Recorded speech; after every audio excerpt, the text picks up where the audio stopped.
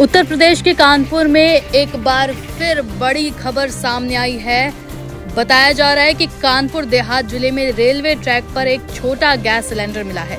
अगर कोई भी ट्रेन इस सिलेंडर से टकरा जाती तो बड़ा हादसा हो सकता था। ट्रेन को नुकसान पहुँचाने की ये कोई पहली घटना नहीं है। जी हाँ इससे पहले भी हाल में कानपुर में कालंदी एक्सप्रेस को पलटाने की साजिश रची गई थी। इसके लिए रेलवे ट्रैक पर एलपीजी सिलेंडर रखा गया।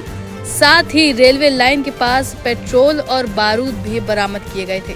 जानकारी के मुताबिक नॉर्थन सेंट्रल रेलवे के प्रयागराज डिवीज़न के पेरुम्बर रेलवे स्टेशन के पास ट्रैक पर एलपीजी का छोटा सिलेंडर मिला। यहाँ मालगाड़ी गुजरने वाली थी, लेकिन लोको पायलट ने उससे पहले ही मालगाड़ी को रोक दिया, जिसकी वजह से एक बड़ा हादसा टल गया है। बता दें, जिस जगह रेलवे ट्रैक पर गैस सिलेंडर मिला है, वो जगह कानपुर देहात में आती है। इस मामले में रेलवे सुरक्षा बल के एसपी ने बताया कि रेलवे ट्रैक पर पाँच किलो की क्षमता वाला एलपीजी सिलेंडर बिना गैस के रखा हुआ था। उन्होंने बताया कि ट्रेन की स्पीड काफ़ी धीमी थी। लोको पायलट ने जब सिलेंडर को देखा तो इमरजेंसी ब्रेक लगाई। उसके बाद अधिकारियों को इसकी सूचना दी गई। इस मामले में आरपीएफ ने जाँच शुरू कर दी है। साथ ही इसकी जानकारी स्थानीय पुलिस को भी दे दी गई है। कालंदी एक्सप्रेस को उड़ाने की हुई थी साजिश। बीते 8 सितंबर की रात करीब साढ़े आठ बजे कानपुर में कालंदी एक्सप्रेस ट्रेन को ब्लास्ट कर उड़ाने की साजिश रची गई थी। प्रयागराज से भिवानी की ओर जाने वाली कालंदी एक्सप्रेस रेलवे ट्रैक पर रखे एलपीजी गैस से भरे सिलेंडर से टकरा गई थी।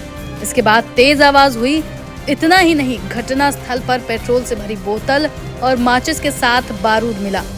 इस मामले की जाँच अब एनआईए कर रही है। साथ ही यूपी एटीएस पुलिस और जीआरपी भी इसकी जाँच में लगी हुई है। इस घटना के दो दिन बाद 10 सितंबर को राजस्थान के अजमेर में मालगाड़ी को पलटाने की साजिश भी सामने आई।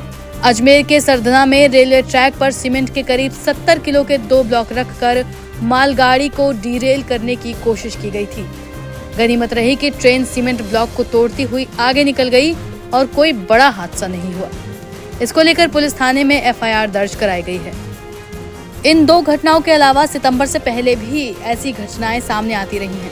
17 अगस्त की रात कानपुर झांसी रूट पर साबरमती एक्सप्रेस के 22 डब्बे इंजन समेत पटरी से नीचे उतर गए थे। ये ट्रेन वाराणसी से अहमदाबाद जा रही थी। हादसे का शिकार हुई ट्रेन के ड्राइवर ने बताया कि बोल्डर के इंजन से टकराने के कारण हादसा हुआ।